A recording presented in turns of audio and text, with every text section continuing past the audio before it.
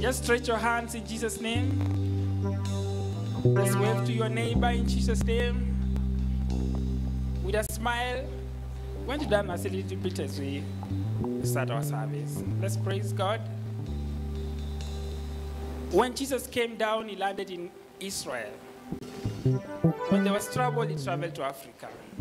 So we must praise him an African way. When Jesus came down, He came down from heaven. when there was trouble, He came down to Africa. so we must praise him. Praising in an African way.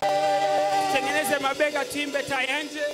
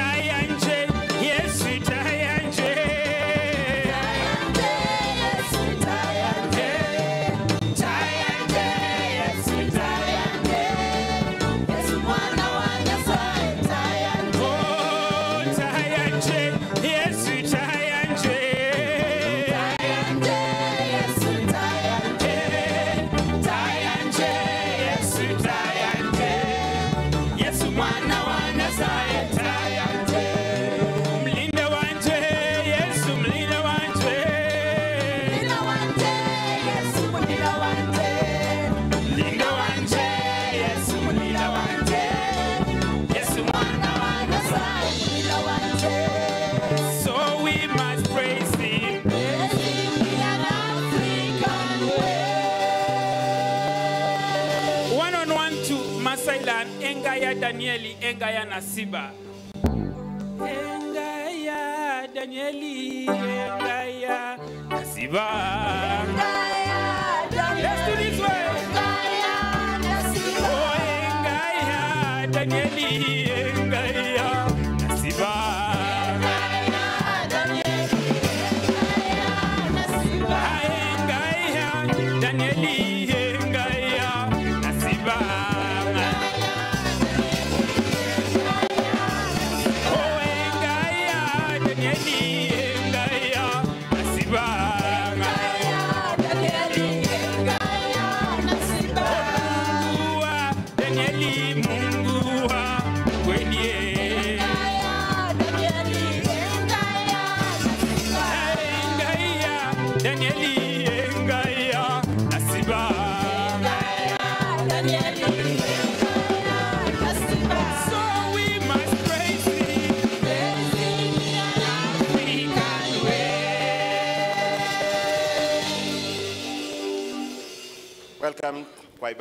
Ya tatu kiongozwa na ndugu Naftali Lagat. Karibu. Bwana asifiwe. Uh, nawakaribisha nyote kwa ibada hii leto la tatu, na natumai ya kwamba tutaungana wote katika ile ibada imeandaliwa na kanisa letu. Wote walio runinga zetu na mitandao za kijamii nawakaribisha wote. Sasa kwa sasa tunawaomba tuimbe wimbo la kwanza litaloongozwa na kwaya letu.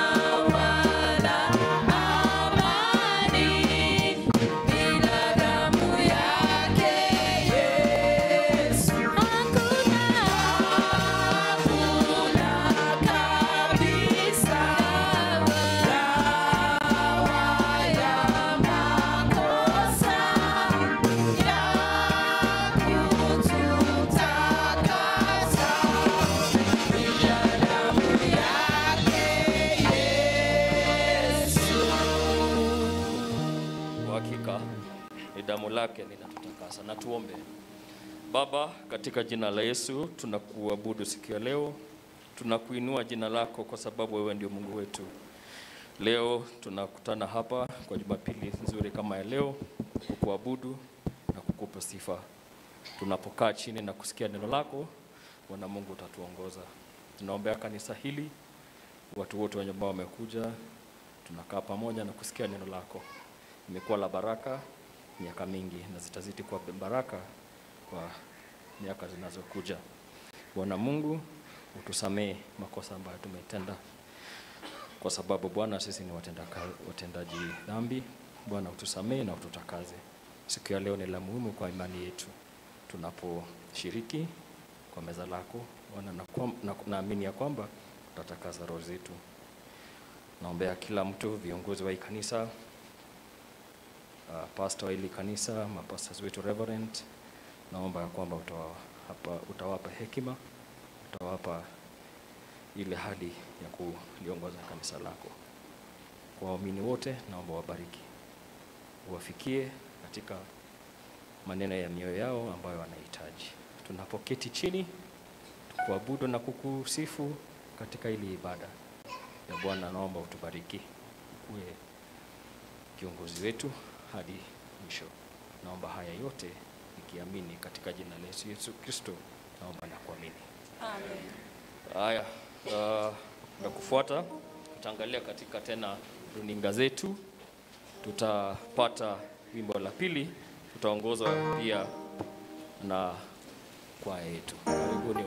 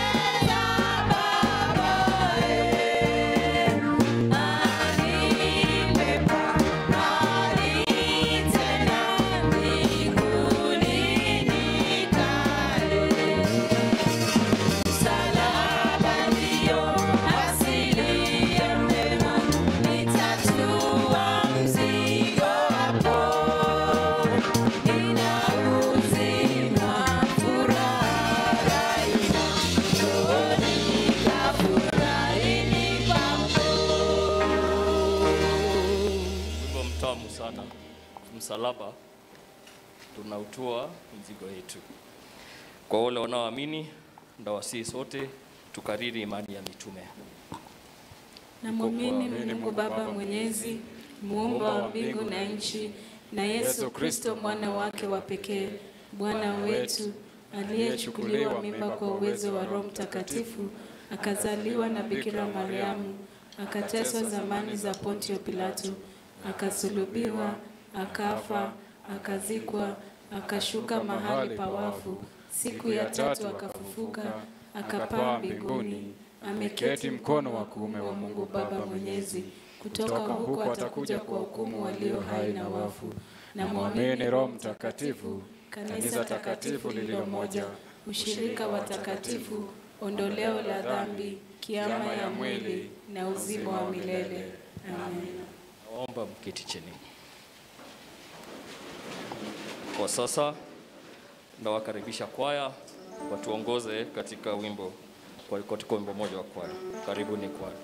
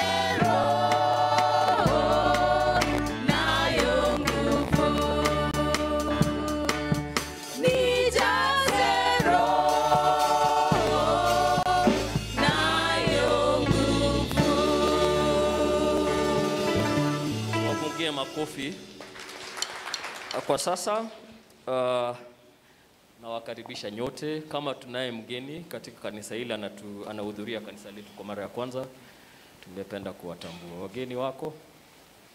Mgeni anayekuja leo siku ya kwanza katika kanisa hili, yuko mgeni yoyote? Ni kama leo hatuna, lakini tunazidi kuomba waje. Uh, tuendelee kwa kuangalia katika bulletin zetu katika ukurasa wa pili. Kuna matukio yajayo, ningependa kuwaelekeza hapo na tutaziona pia kwa runinga zetu. Uh, tunaombwa kama kanisa, viongozi wa kanisa wanaomba ya kwamba tufuate kanuni za idara, idara kuhusu afya kwa maneno ya kuhusu COVID-19 ama corona. Najua ya kwamba tunajua tuoshe mikono zetu na, tufung, na tu, tutumie uh, zinaitwa nini, zimenipita, barakoa. tanisi hapo tafadhali. La pili, uh, leo katika kanisa hili tunao meza la Bwana kwenye ibada ya kwanza na la nne. Uh, wale ambao wamebatizwa naomba ya kwamba tutajumuika pa, pamoja katika hilo meza la Bwana. La tatu, tunaomba ya kwamba wazazi wote kuwasaidia watoto wetu wahudhurie Jumapili na wavalishe barakoa vizuri. Tutasisitiza hapo, watoto waje katika kanisa wahudhurie ibada na pia wavalishe barakoa vizuri. La nne, tutakuwa ta, katika tarehe 14 mwezi wa tatu mwaka huu kutakuwa na kuwekwa wafu kwa watoto katika ibada ya nne. Katika hapo tunasisitiza ibada la nne, kuwekwa watoto wakfu tarehe kumi na nne. La mwisho, vikundi vya vyetu vidogo vidogo vinaendelea vyema. Ili kujiunga kuonana na, tafadhali mtafute viongozi wetu ama mchungaji ili mu, mujumuishe katika hilo vikundi. Hayo ya ni matukio yajao tunayosikia leo. Uh, tunaenda kukaribisha kwaya watuongoze katika ile ibada ya kusifu na kuabudu. Ambaye atatuongoza katika maombezi ya ibada ama maombi maalum atakuwa Isaac Cheriot. Aliyekuwa kiongozi wenyu ni mimi Naftali. Mungu awabariki sana. Bwana Yesu asifiwe kanisa. Amen. Bwana Yesu asifiwe. Amen. Tuweze kuinuka katika miguu zetu, tuweze kumwabudu Mwenyezi Mungu, tumpe sifa na utukufu asubuhi ya leo, kwa maana anastahili. Tumpe sifa, tupige makofi.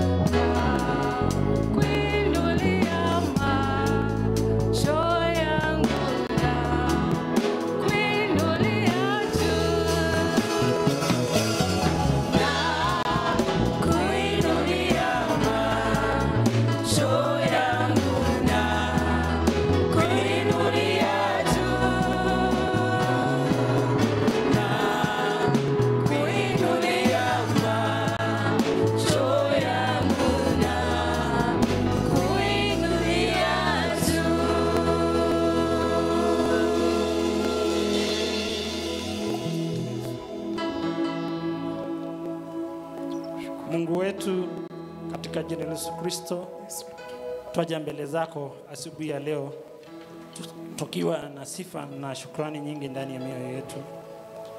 Baba wetu, tunapenda kuja mbele zako tukiungama dhambi zetu. Sisi ni wenye dhambi ambayo hatustahili mbele zako, lakini Mwenyezi Mungu kwa huruma zako ukamtuma Yesu Kristo akafa msalabani kwa ajili ya dhambi zetu, ili Mwenyezi Mungu tukaweza kupata upatanisho ya sisi wanadamu na wewe Mungu wetu. Asubuhi ya leo Baba, tunakuja mbele zako tukisema utusamee kwa sababu hatustahili mbele zako. Tunapenda kukushukuru sana Mwenyezi Mungu kwa ajili ya mambo mengi mema ambayo umetutendea kwa maisha yetu. Mwenyezi Mungu, tunapenda kukushukuru kwa afya nzuri ambayo umeweza kutupa. Asubuhi ya leo Baba, tunakupa sifa na shukrani nyingi ndani ya mioyo yetu. Mfalme wa ajabu, tunakuja mbele zako asubuhi ya leo tukikushukuru Mwenyezi Mungu kwa kuwa umekuwa mwaminifu ndani ya maisha yetu.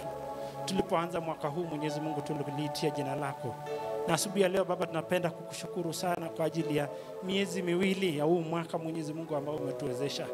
Mwenyezi Mungu, tunajua tumepitia mambo mengi, lakini zaidi ya yote Mwenyezi Mungu umesimama pamoja nasi. Umekuwa wewe ni Mungu ambaye ni Ebenesa ndani ya maisha yetu. Tunapenda kukushukuru na kuinua jina lako Jehova. Asante kwa kila mmoja ambaye ameweza kufika asubuhi ya leo katika nyumba lako Mwenyezi Mungu, ili kukuja kukuabudu na kuinua jina lako. Miongoni mwetu Baba, tunajua kuna watu ambao wako na uzito ndani ya mioyo yao. Mwenyezi Mungu, tunajua tuko na mahitaji mengi ya maisha yetu Mwenyezi Mungu. Asubuhi ya leo Mwenyezi Mungu, tunazileta mbele zako Mwenyezi Mungu. Ndani miongoni mwetu Mwenyezi Mungu, kuna ambao wanatafuta kazi. Miongoni mwetu Mwenyezi Mungu, kuna ambao biashara zao ziko chini. Asubuhi ya leo Jehova, wanakulilia. Tunajua Mwenyezi Mungu umesema, Mwenyezi Mungu, unaponililia unaponilitia jina langu, hakika Mwenyezi Mungu utasikia maombi yetu. Asubuhi ya leo tunanyenyekea mikononi mwako Mwenyezi Mungu, tukijua Mwenyezi Mungu wewe ni mweza yote, na Mwenyezi Mungu utatuenua kutoka hatua moja hadi nyingine. Asubuhi ya leo pia Mwenyezi Mungu tunapenda kushukuru kwa nchi yetu. Asante Mwenyezi Mungu kwa umbali ambao umeweza kutupa wakati huu. Mwenyezi Mungu tunaita uwepo wako ukae pamoja nasi, ukao na viongozi wetu na hata ambao wana govern nchi. Mwenyezi Mungu uweze ukawapa hekima Mwenyezi Mungu. Pia Mwenyezi Mungu tunaweza kukumbuka wanafunzi wetu ambao wako shuleni ambao wanajiandaa Mwenyezi Mungu hata kwa ajili ya e, mitihani yao. Asubuhi ya leo tunawakumbuka wanapokuwa shuleni. Mwenyezi Mungu kuwa Mwenyezi Mungu utakuwa pamoja nao. Kuna uoga ambao umekuwa ukiwa katika mashule zetu, Mwenyezi Mungu tunalikataa katika jina la Yesu. Tunajua watoto wetu, Mwenyezi Mungu utasimama pamoja nao. Yale yote ambao walimu wao wamewafunza, Mwenyezi Mungu utazidi kuwakumbusha wanapoenda kufanya mtihani hii, na uweze kuwaondolea ile roho ya uoga, Mwenyezi Mungu akaweza kufanya mitihani yao, Mwenyezi Mungu. Hata wale ambao watoto ambao wanaenda kwa kila asubuhi na kuondoka, Mwenyezi Mungu tunawakabidhi mikononi mwako ili uweze kuwalinda. Walimu wao pia tunawakabidhi mikononi mwao, Mwenyezi Mungu, wanapokuwa pamoja nao waweze kuwaelekeza katika njia iliyo haki. Tunapenda kukushukuru sana Mwenyezi Mungu. Pia tunapenda kushukuru kwa ajili ya kanisa letu, viongozi wetu na idara mbalimbali mbali mbali katika kanisa hili, hili Mwenyezi Mungu. Tunazidi Mwenyezi Mungu kuomba ili uweze ukatupe nguvu na zaidi ya yote ukatupe hekima ili tunapo eh, liendesha eh, kanisa hili Mwenyezi Mungu tuendeshe katika njia iliyo ya roho na haki.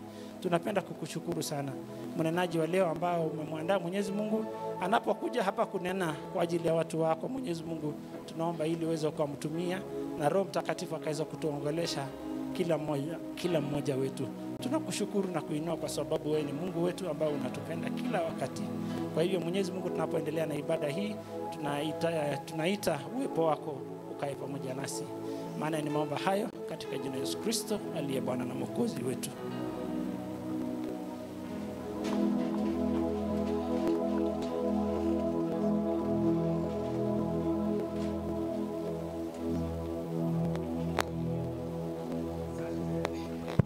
Asante ndugu cheruyot asante kwaya, asante kiongozi wa ibada, asante kanisa kwa kuhudhuria ibada ya leo. Bwana Yesu asifiwe. Ni siku nyingine ambapo twahitaji baraka za Mungu. Tumebarikiwa mpaka hapo, twashukuru Mungu, na ni wakati mwingine tunaelekezwa, tunaomba tuelekezwe kwa neno la Mungu kutoka kitabu cha Samueli wa kwanza 15 kuhusu mapenzi ya Mungu katika kazi ama maisha yetu. Atakayetuelekeza asubuhi ya leo ni mchungaji kasisi Morogo, tukaweze kuweka mikono yetu pamoja tunapomkaribisha mchungaji Morogo. Karibu. Asa- Asante sana. Bwana Yesu asifiwe. Kule nje, Bwana Yesu asifiwe. Ninashukuru Mungu kwa sababu ya nafasi na kibali ya kuweza kunena siku ya leo, ikiwa ni wiki ama siku ya mwisho kwa mwezi huu wa pili.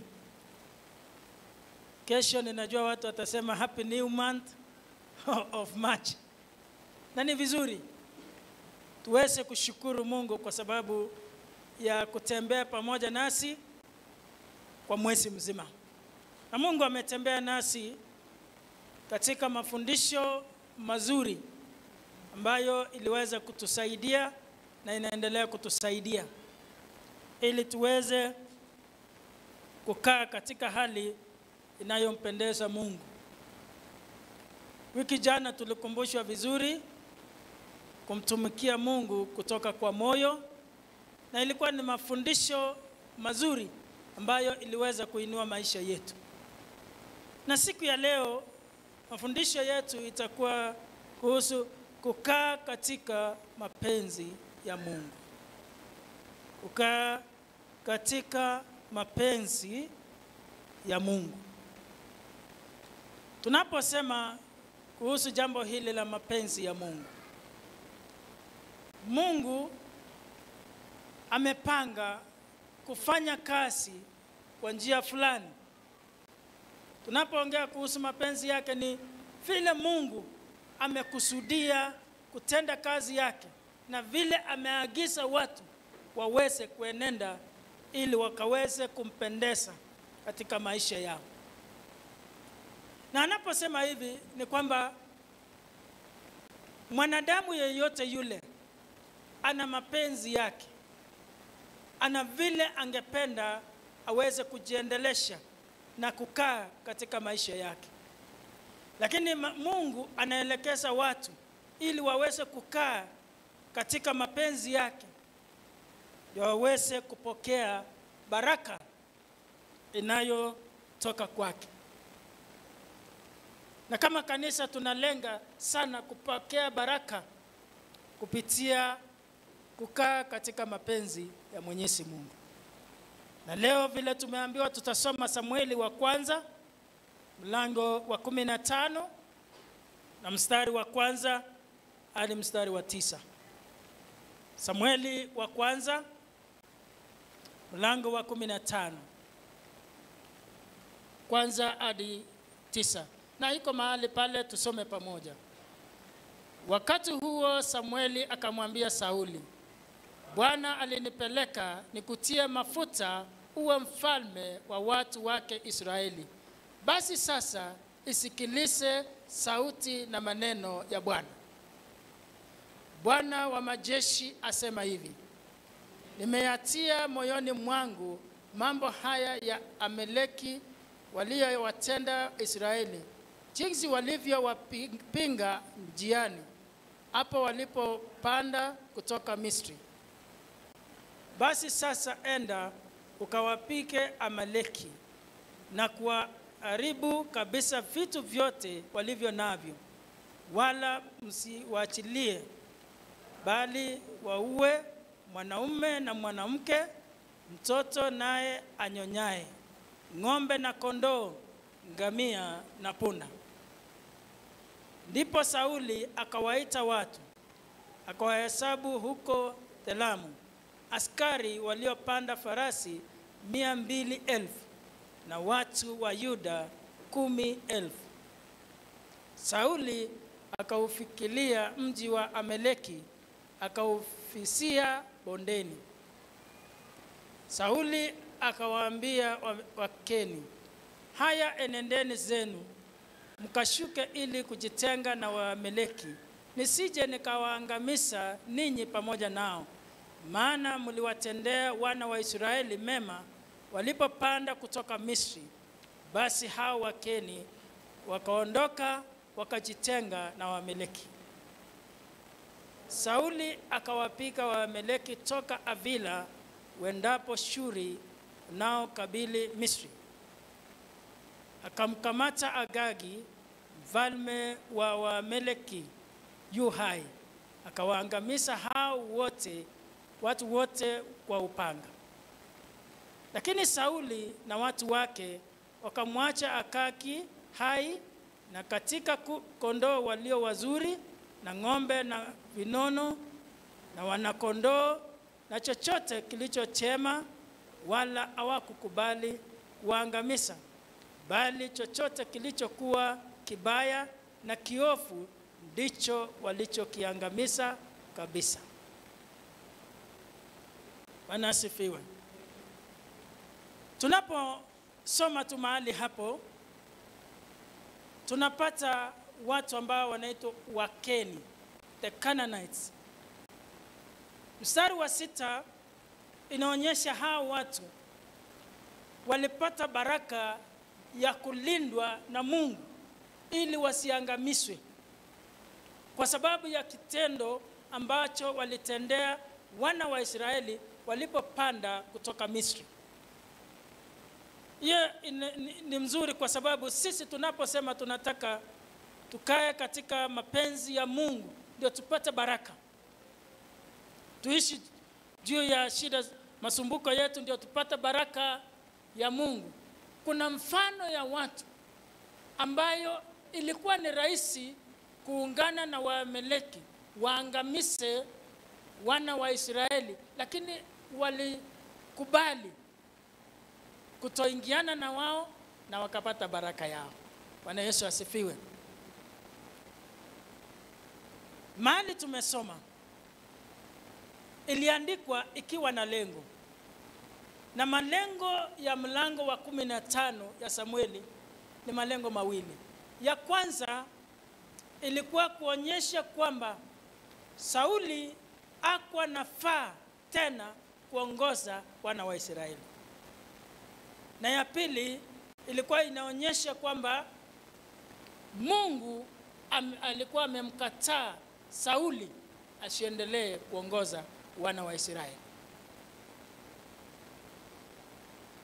Jambo lingine ambalo tunajua ni kwamba Waameleki walikuwa ni adui wa wana wa Israeli, waliwapinga na sana sana walikuwa naishi upande wa kusini kwao, the southern border, na walipokuwa wakiishi pale, mara kwa mara walikuwa ni watu ambao wanafamia wana wa Israeli, walikuwa wanafamia mashamba yao, walikuwa wanafamia mifuko yao na kuangamiza na kubeba.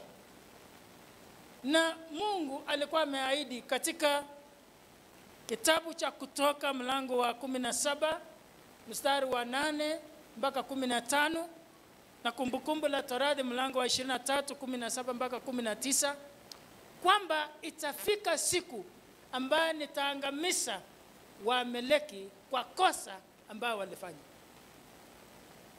Tuko pamoja? Na hapa sasa ilikuwa ndio limefika.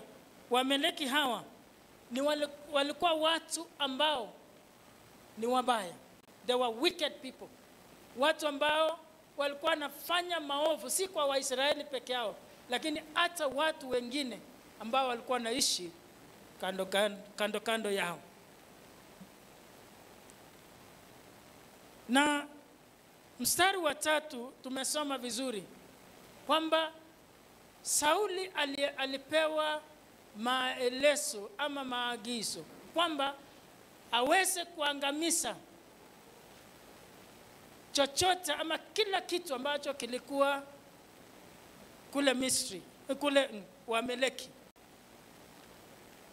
Na imagine walisema mpaka watoto wadogo, ambayo kwa kawaida haifanyiki, lakini ilibidi ifanyike kwa sababu Mungu alikuwa amewakataa. Ilikuwa ni desturi ifanyike hivyo kwa, wa, kwa nchi ya Misri na watu wao, lakini jambo hili ambalo ilifanyika ilikuwa inaonyesha kwamba watu hawa wakiwawa na kitu, kila kitu yao walikuwa wamepeanwa kwa Mungu. Ilikuwa, it was a way of handing them over to God, kwa sababu Mungu mwenyewe alikuwa amesema nitawaangamiza. Na tunapata pia kwamba Sauli, mambo ambayo ilifanya aweze kukataliwa ni kwamba yeye alidanganya mara mbili.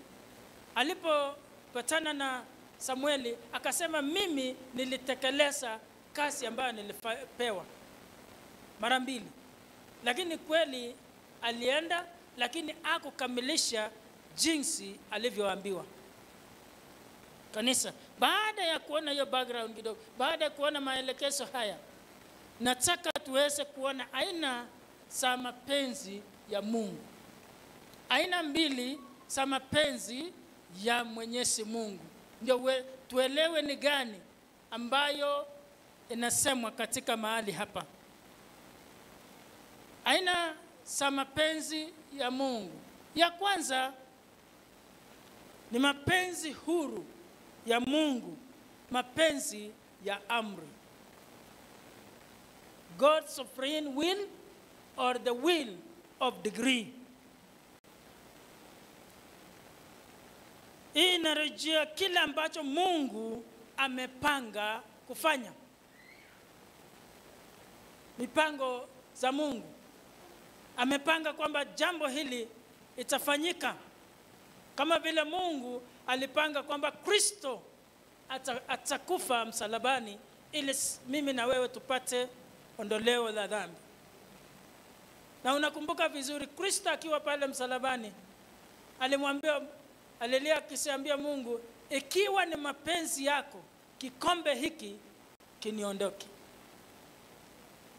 Lakini ilikuwa ni mapenzi ya Mungu kwamba aweze kufa msalabani ili tuweze kupata ukombozi. Mapenzi hii ya Mungu, hii aina ya kwanza ni kwamba tunafuat, tunapaswa kufanya hivyo iwapo tunaamini au la.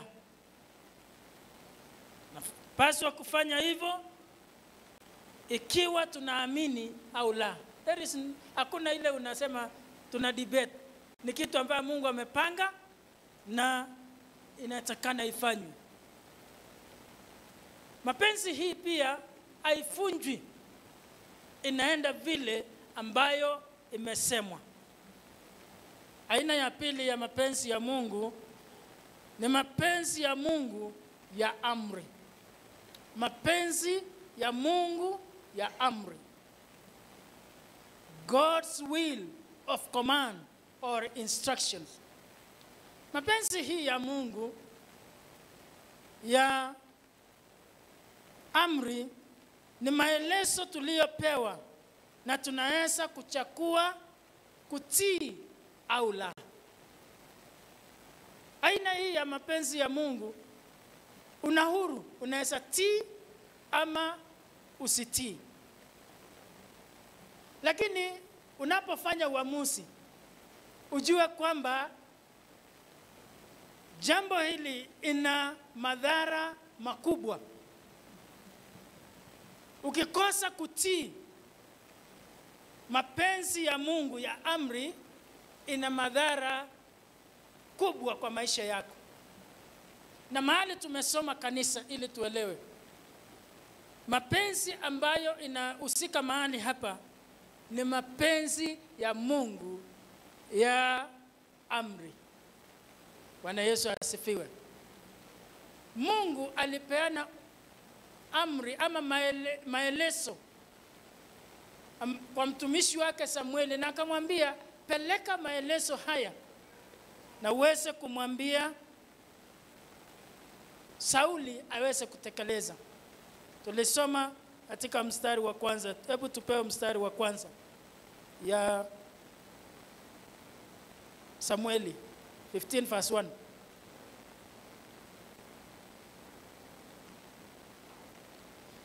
Wakati huo Samueli akamwambia Sauli, Bwana alinipeleka nikutie mafuta uwe mfalme wa watu wa Israeli.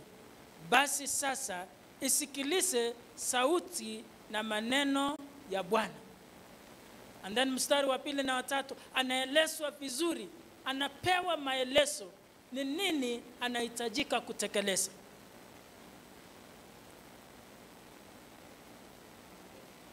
So mapenzi haya ni mapenzi ya amri. Kanisa, baada ya kupewa hiyo, labda unaanza kujiuliza, na tumesoma kwamba je, alitii ama hakutii? Je, alitekeleza jinsi aliambiwa ama hakutekeleza? Jibu ni kwamba alitekeleza kwa sehemu, hakutekeleza yote. Hii inatuleta tujue ni nini kilichomfanya Sauli kutoka kwa mapenzi ya Mungu.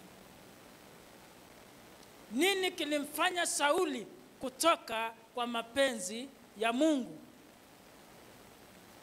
Mambo matatu ambayo yaliweza kumfanya Sauli kutoka kwa mapenzi ya Mungu. Ya kwanza ni utukufu wa kibinafsi. Utukufu wa kibinafsi.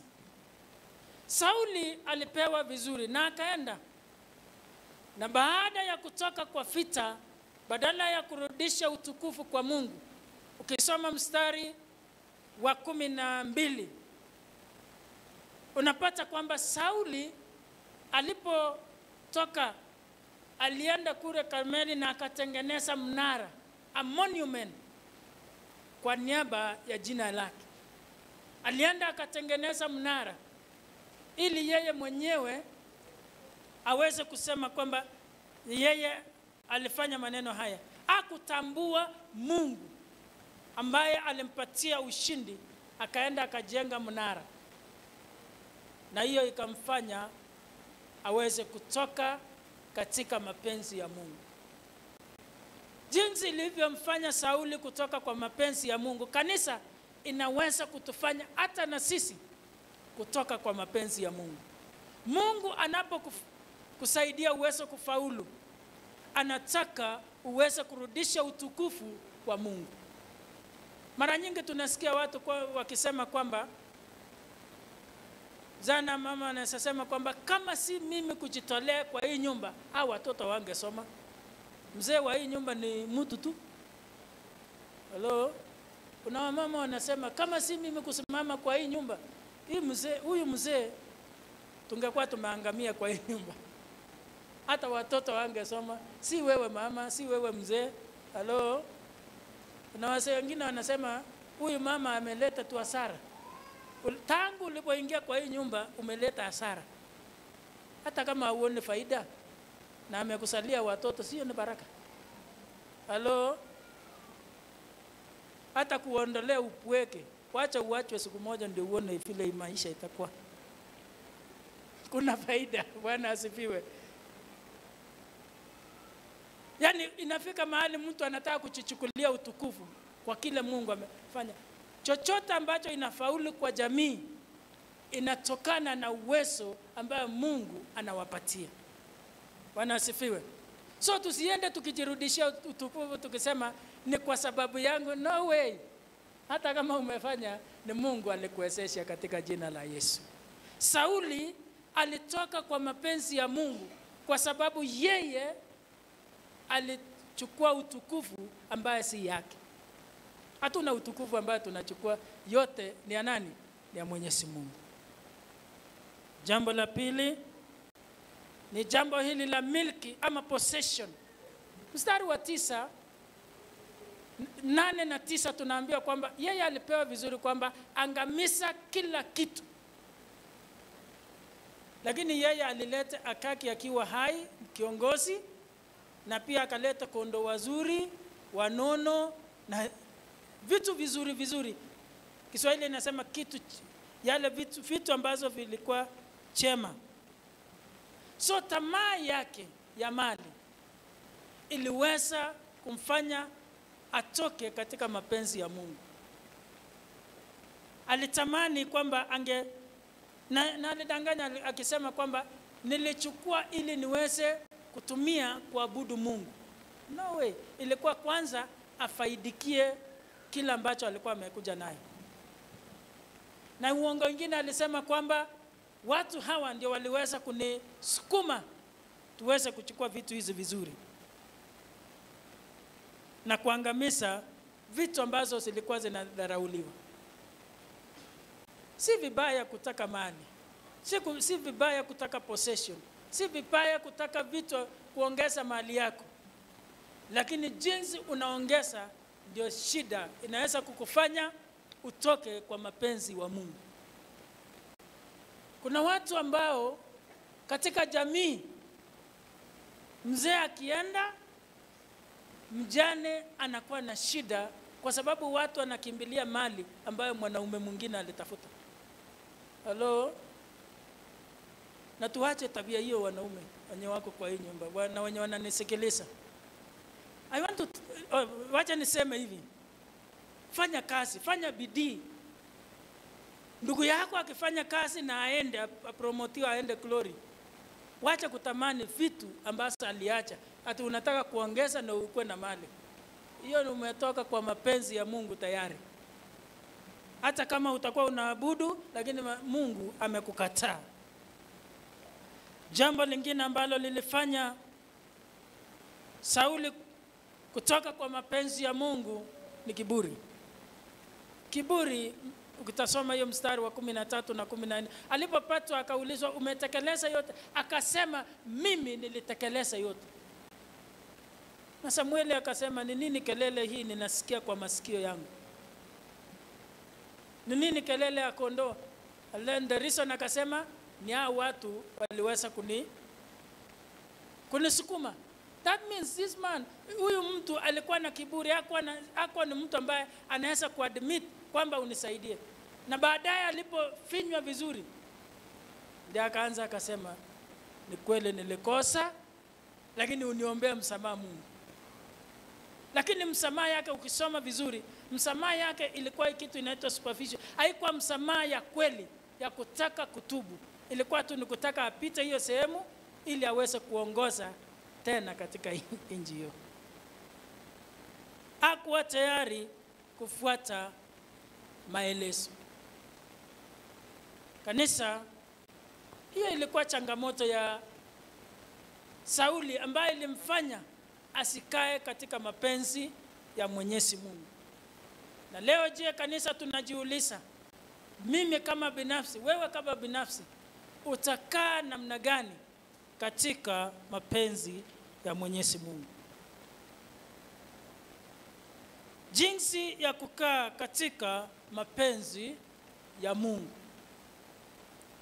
That is very key katika maisha yetu.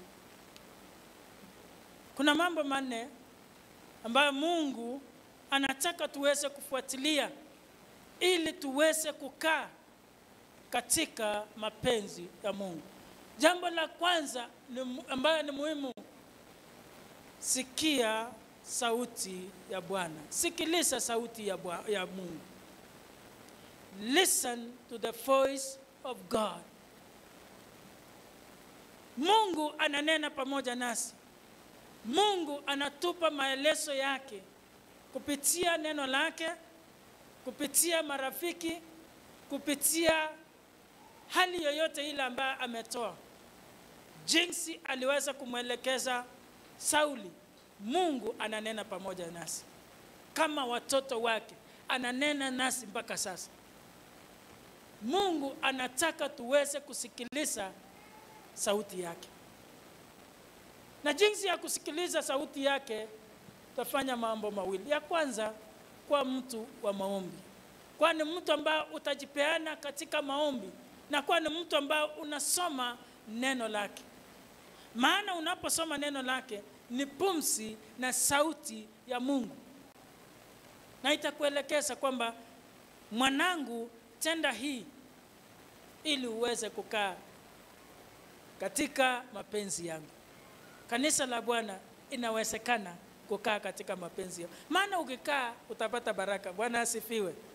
Kama Sauli angekaa katika mapenzi ya Mungu, angepata baraka ambayo angeendelea kuongoza nyumba ya Israeli, lakini alikataliwa tu kwa sababu akukaa katika mapenzi ya Mungu. Listen to the voice of God, sikiliza sauti ya Mungu. Mungu anaweza nena kwa njia ambayo labda watu wengi hawatasikia. Sometimes unaweza kuwa mahali peke yako unataka kufanya jambo fulani, lakini kuna kasauti, kuna sauti ambayo inatoka mbali inakwambia hii si mzuri. Sikia hiyo sauti, ni ya Mungu. Bwana Yesu asifiwe. Sikia hiyo sauti ili ukae katika mapenzi ya Mungu. Si mapenzi ya Mungu uanze kuambia mzee, si kuacha, si kuchoma kitu kwetu. Halo, si mapenzi ya Mungu. Auambie mzee yako, umenisumbua sana, si kuchoma kitu kwetu, ninaweza rudi. Na by the way utarudi na utarudi tu. Halo, si utaenda ukibeba mzigo na utarudi na mzigo yako tu. So tumeona wengi. Halo, Mungu alisema watu wakiishi mapenzi ya Mungu kwa ndoa ni kwamba watu waishi mpaka kifo iwatenganishe, si ndivyo? Tunaambia watu mahali hapa, wale ambao wameunganishwa na Mungu, mtu asiwatenganishe mpaka kifo peke yake, si ndivyo? Lakini kuna watu hata wangojeangi kifo, wanatengana ovyo ovyo kwa sababu hawasikii mapenzi, hawataki kukaa katika mapenzi ya Mungu kwa sababu wamekosa kusikia sauti ya Mungu. Hello? Sikia sauti ya Mungu anasema nini. Kabla hujafanya hiyo uamuzi, sikia Mungu anasema nini. Jambo la pili, fuata maagizo yaliyotolewa. Sauli alipewa na maagizo na Mungu na ilikuwa inahitajika yeye afuate jinsi yalivyokuwa, lakini alifuata chache na akaacha zingine. Mambo ma, mawili ili uweze kufuata maagizo ya Mungu. Ili ufuate maagizo haya, lazima uamini kwamba maagizo ambayo yametolewa na Mungu ni ya ukweli. Trust God that he has given you the right instruction. Amini Mungu kwamba ameweza kutoa maagizo mazuri, kama ni kwa vijana, kama ni kwa kanisa, amini kwamba Mungu ametoa maagizo yanayofaa kwa ajili yako, so that you can follow. Awezi hawezi fuata kitu ambayo hauamini. Fuata ukimwamini kwamba Mungu ametoa, na mara nyingi maelezo mengine ama instructions zingine inatolewa ambayo inahitaji subira, inahitaji wewe kungoja. Subiri Mungu ili aweze kukutendea. Unaweza sema kwamba niliwahi wambia kuambia kwamba kuna mzee alipewa, Mungu alipeana maagizo kwamba kaa na mke wako wa kwanza mpaka kifo, mpaka nitakaporudi, na Mungu anasema nitarudi kwa wakati wote. Na huyo mzee alikuwa mzee wa kanisa, akangoja mpaka akasema huyu Mungu ni kama arudi, akachoka. Na akaangalia kando, akasema huyu mke wangu mkubwa amechoka. Kaangalia, akakamata mtoto ya mtu wap, na akachukua na akasema kwa sababu Mungu amechelewa, akatoka kwa mapenzi ya Mungu. Kanisa la Bwana, Mungu anataka sisi tuweze kufuata maagizo yote yaliyotolewa vile tunaangalia mstari wa pili na watatu. Ya tatu, tii Mungu, mtii Bwana kikamilifu. Fully obey the Lord. Na uweze ili uweze kutii kikamilifu, najua una mapenzi yako, you have your will. Najua watu wakioana pia wanakwanga na will, will zinakaanga hivi ya mzee na ya mzee ya mke. So ili watu hao waweze kukubaliana, lazima kila mtu aserende yake kidogo, ili uweze kutii Mungu. Surrender your will to God. Praise the Lord. Huyu angetakana aserende, aweze kusikuambia Mungu kwamba ichapokuwa nina tamaa ya mali, ichapokuwa nina tamaa ya kuweza kuweka huyu mtu, ninaomba Mungu kwamba uniachilie. Nina, ninatii, ninaacha ile wili yangu, ninaacha mapenzi yangu, lakini ninafuata yako katika jina la Yesu. Bwana asifiwe. Mtii Mungu kikamilifu. Ni nini Mungu ameagiza katika Biblia? Kuna maagizo mengi ambayo tumetuagiza tuweze kufanya hivi, tuweze kukaa hivi, tuweze kuendelea hivi. Kama ni biashara, Mungu ameleta maagizo. Kama ni jamii, Mungu ameleta maagizo. Kama ni jinsi ya kukaa na watu wa nje, Mungu amesema msifungiwe nira kwa njia isiyofaa na watu wasiomjua Mungu. It is plain, Mungu ametoa. Wewe ni kutii kikamilifu, tutii kama watoto wa Mungu, tukitaka baraka yake ambayo inaandamana na hiyo. Jambo lingine ambalo Mungu wetu anataka tuweze kufanya ni tafuta mshauri wa kweli. Tafuta yule mtu ambaye atakuambia kwamba ninaona vile unakaa huko unaendelea kutoka kwa mapenzi ya Mungu. Usikubali tu watu ambao wanakupigia makofi, asante sana ndugu yangu, asante. No, those are dangerous people. Hello? Usikae, na usikae karibu na watu ambao wanakusifu kila wakati. Kaa na watu ambao mara nyingine wanakuambia mahali unaelekea utaenda jehanamu. Hello? Mahali unaelekea hii nyumba yako itafunjika. Hii maneno hii umeanza, hii mwenendo hii umeanza kijana, hautamaliza shule. Stay with such a people in the name of Jesus, ambao wanakuambia ukweli. Samueli alimwambia ukweli. Kana mtu ambaye anakuambia ukweli katika jina la Yesu. Mara nyingi watu wanaepa, ukiambia mtu ukweli leo, kesho hautakuwa rafiki yake. True or false? Ni ukweli lakini afadhali ukataliwe kama umesema ukweli na usimame na ukweli. Sauli hakusimama na ukweli, yeye ye mwenyewe alijua ukweli kwamba anatakana aangamize wote, alafu anasema nilisukumwa na watu. Huyo ni mtu ambaye asimami na ukweli. Ninataka niwaambie, afa mentor in the name of Jesus. Bwana asifiwe. Bwana mshauri ambaye atakuelekeza, atakukemea, atakwambia hii si mzuri, na utakaa katika mapenzi ya Mungu. Kanisa la Bwana, inawezekana sisi kukaa katika mapenzi ya Mungu tukifanya mambo haya manne, kwamba tusikie sauti, tusikilize sauti ya Bwana, tufuate maagizo yaliyotolewa, tutii Bwana kikamilifu, na tuweze kutafuta mshauri wa kweli, na tutaishi, tutakaa katika mapenzi ya Mungu. Na ukikaa katika mapenzi ya Mungu, baraka itaandamana na wewe tele tele. Katika business, baraka zitaandamana na wewe. Bwana asifiwe.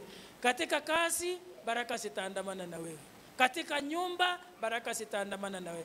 Katika shule, baraka zitaandamana na wewe. Katika society, baraka zitaandamana na wewe ukikaa katika mapenzi ya Mungu. Bwana tusaidie ili tukae kwa njia hiyo, na tukikaa hivyo utakuwa na ushuhuda Disemba kusema kwa kweli, nilipokaa katika mapenzi ya Mungu nimebarikiwa njia hii na njia hii. Simusaidiwe na Mungu na tubarikiwe wote. God bless you and God bless all of us. Mtakatifu Baba wetu wa mbinguni, katika jina la Yesu Kristo tunapokea neno lako ambalo umeweza kutukumbusha siku ya leo tuweze kukaa katika mapenzi yako. Asante Mungu wetu kwa sababu ya mfano huu, ichapo kuwa aliyeweza kuanguka, kuondoka katika mapenzi yako, ni mafunzo kwetu kwamba tunahitaji kukaa katika mapenzi yako. Mungu wetu wa rehema, ninaomba kwa ajili ya mshiriki, mshirika yeyote wote ambao wananisikia kwamba Mungu wetu wa mbinguni watakaa katika mapenzi yako, wataondoa mambo ambayo inakuwa kama vikwazo ama masungum, masumbuko yatakayo yatakayo waondoa kutoka katika mapenzi yako. umeona Sauli aliondolewa na utukufu wa kibinafsi, hali ya milki na pia kiburi. Utusaidie ili mambo haya yasikue katika maisha yetu. Saidia ili tuweze kufuata maagizo yote, sikia sauti yako na kukutii na kutafuta wa ushauri ili tuweze kuishi maisha yanayokupendeza. Utubariki na utuinue katika jina la Yesu Kristo aliye Bwana na mwombezi wetu. Amen. God bless you.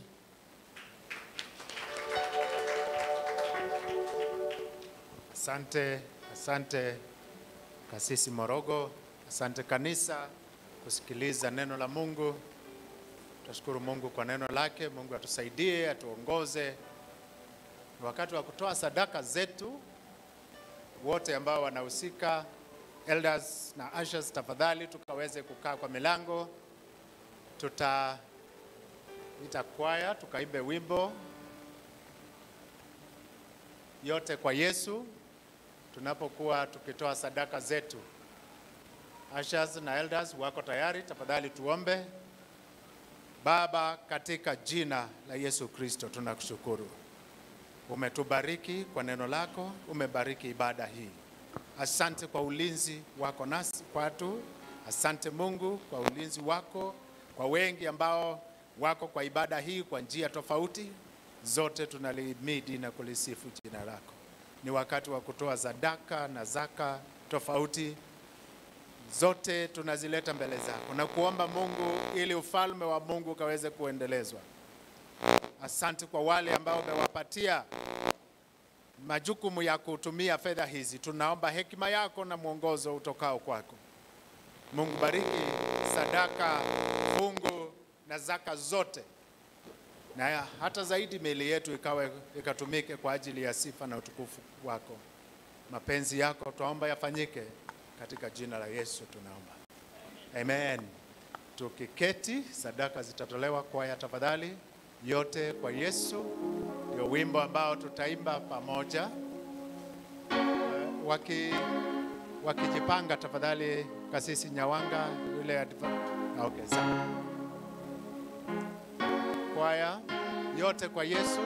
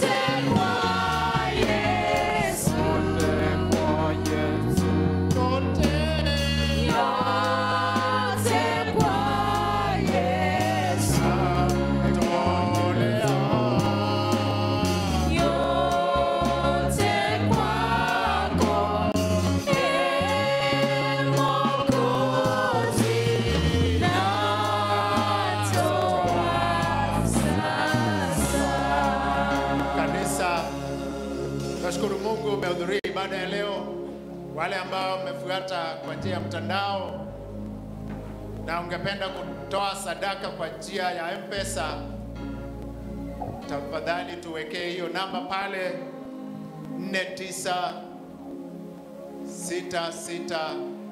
496695 nafikiri tuwekee pale. Basi wacha niulize tena kama tuna wageni hapa ndani ama pale nje. Tulikuwa tumeuliza, lakini labda kuna wengine waliingia baadaye. Kuna wageni ambao ni mara ya kwanza kuingia kwa ibada ama kwa kanisa hili, uinue tu mkono tukaweze kumshukuru Mungu pamoja nawe. Hata kule nje kuna watakuja, wako kwa njia, watakuja. Basi eh, nambari ndio hiyo hapo, ikiwa ungependa kutoa sadaka yako ama zaka ama fungu kwa njia ya M-Pesa. Basi kanisa, tusimame tukaweze kumaliza ibada. Baba wetu wa mbinguni, Baba wa mwokozi wetu Yesu Kristo, Baba uishie milele, Mungu ambaye hakuna Mungu mwingine hapa duniani na hata huko juu mbinguni. Wewe uishie milele, tunalisifu jina lako, tunalibariki jina lako, twakusifu maana umetenda kama Mungu. Ni miezi mbili ya mwaka huu ambayo imekuwa kwa mawazo yetu ikiwa na, na tofauti, mawazo ambayo yamechanganyikana, hasa sababu ya korona, tena sababu ya watoto ambao wanachoma shule, wengine ambao wanavuta bangi na vileo vingine, watoto ambao hawatii. Ni mengi ambayo yanatendeka na ni mazito, ni magumu kwa wazazi.